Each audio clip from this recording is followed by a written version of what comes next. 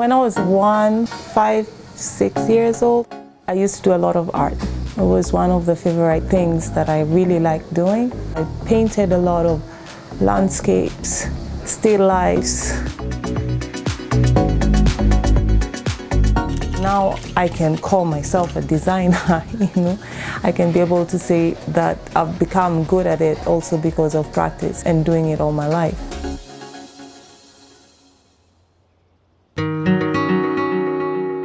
Journey of a designer was a long way.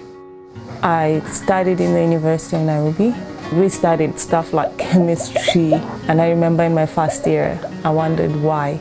According to me, it was all supposed to be just about art.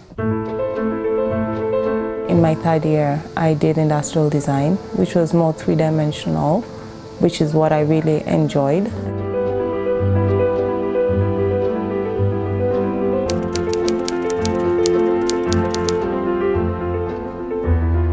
When I finished university, we had a mini exhibition at the Goethe Institute where my year decided that we wanted to showcase work.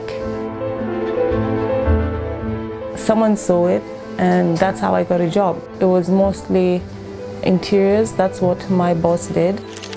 And I came in as a product designer. Was also more like a learning experience. During that time, we decided to challenge ourselves into something different. And I remember her saying that she'd applied for um, as an exhibitor for the Kenya Fashion Week then. Her idea was to create garments that light up in the stage like metal outfits with like the brief comes out and it's all supposed to be in fabric and we're like, oh. I started learning about like fabrics, how they behave, complexions, color. I did that for two years in a row and, and I was just, I, I needed something more. I got a job in an NGO. I was pretty young, maybe 26, 27. And I had to manage artisans and the students and create a symbiotic relationship between the two of them. Working at the NGO helped me understand you need each other. Uh, it's not about just crafts and hobbies, but it's about being able to change someone else's life by creating employment.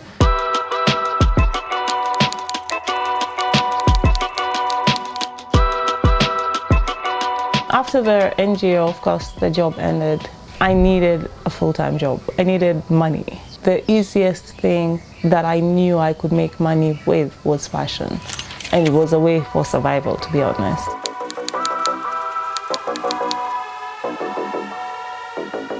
Starting a business from my house was one of the most scary things, I guess. I bought an overlocking machine, cost like then I think it was 8,000 or something. Employed a tailor, got contacts for people, did pop-up shops. The first pop-up I remember was at the village market. We could only make like, I think in a day, three dresses and that was like pushing it. My sister and a really close friend who was also staying with us would go to the exhibition and sell and would keep calling them, did you sell, did you sell? And one day she said they sold 34,000 and it felt like a jackpot.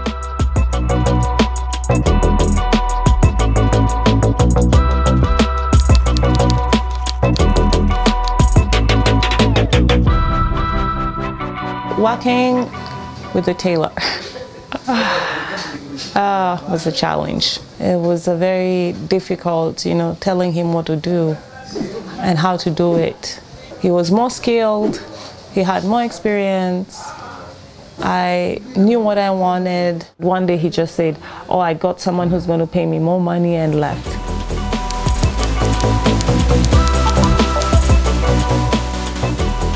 2011, I went to school. It was a different experience. It was extremely expensive. My sister helped pay.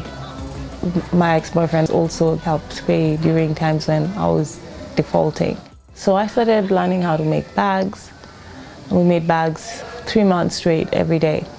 It was one of the things that when you came out of, you felt accomplished. That realization gave me a boost. So in 2012, when I came back, I was like feeling creative overboard. I knew I wanted to use African print. And that's when I started. I'm excited. I want to start making leather bags. And I go to the tannery. There is leather, but the guy says all the leather is being bought and sent to China in the blue form. That's the time when we decide to go into upcycling. Buying leather jackets, leather trousers, and using it.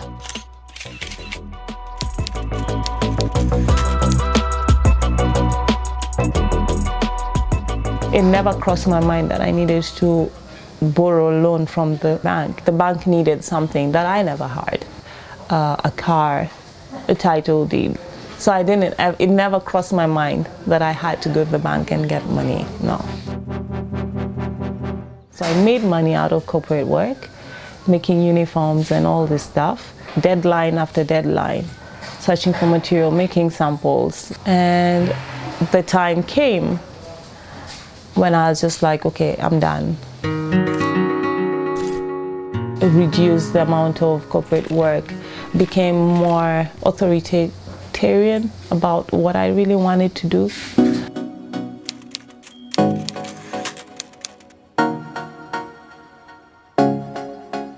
You want your business to be based on various things. Trust was one of them, honesty was another, and build it more like a family setting, which is what I wanted it to be. Your workers uh, tend to be more confident to talk to you about their personal issues. And they also sometimes want help with uh, problems they have. They want to borrow money, and uh, you become sympathetic.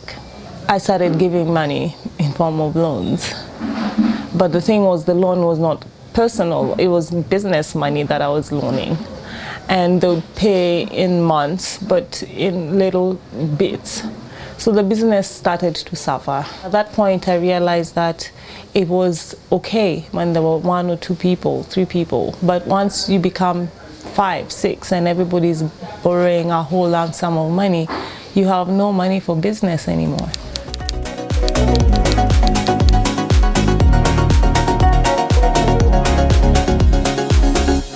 It was emotionally frustrating and draining, always having to carry everybody's burden behind your back. And I said, if we keep going on, we're not going to be able to have anything uh, running as a business. We have to come up with a solution, and the solution was that we save money every month. Everybody contributing means everybody can kind of be able to withdraw money off it to use it on one of those cloudy days when you really need the money.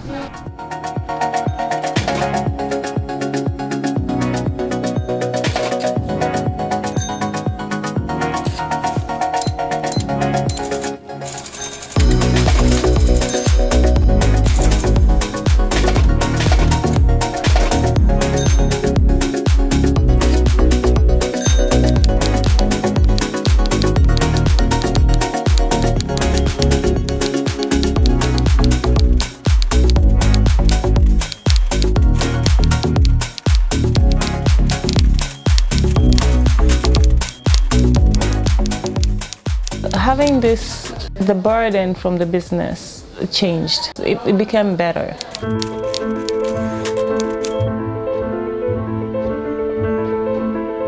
Have I thought about going to the bank and take a loan after all these years? No. I've tried once when I thought, oh, I need to buy more machinery, I want to expand this thing. I didn't get it. The fact that I have had so many employees and then I have so much overheads. I feel like I already have too much on my plate. I don't want any more. Do I enjoy my success economically? Not really. but uh, psychologically, yes. Having a business that has uh, been the way it is now has been based on the fact that uh, you have to learn to respect each other because I feel like one, I have a team I can depend on.